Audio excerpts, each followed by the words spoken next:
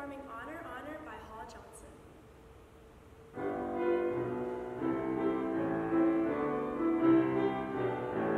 King Jesus lit a candle by the waterside to see the little